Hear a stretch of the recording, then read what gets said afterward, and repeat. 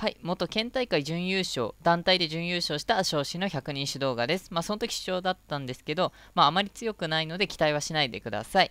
で、まあ、札の配置はこの通りになっています。はい、では動画を楽しんでください。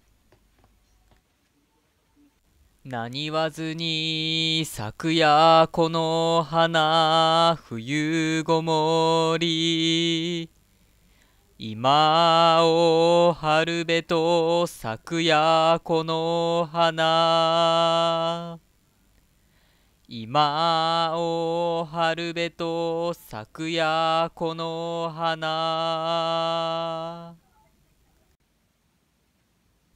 背を早み岩にせかるる滝川の割れても末にあわんとぞも。我がいほは都の辰巳しかぞ住む。よう氏山と人は言うなり。風そよぐ奈良の川の夕暮れは。みそぎぞ夏の印なりける。朝ぼらけ有明の月と見るまでに。吉野の里に触れる白雪村雨の梅雨もまだひぬ牧の葉に。霧立ち上る秋の夕暮れ。巡り合いて西やそれとも若沼に。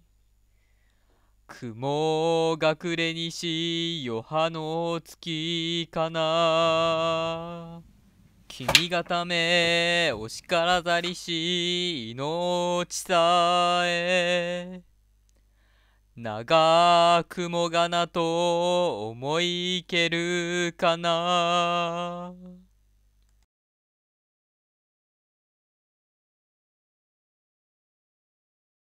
由良のと渡る船人舵を耐え行方も知らぬ恋の道かな？心当てにおらばやおらん初霜の置き惑わせる白菊の花。嘆きつつ一人ぬるよのあくるまはいかに久しきものとかは知るご視聴ありがとうございました。